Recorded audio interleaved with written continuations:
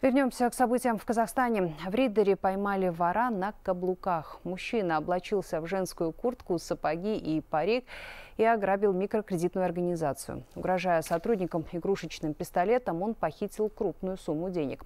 Таким образом, злоумышленник пытался запутать свидетелей. Однако оперативники установили его личность по горячим следам.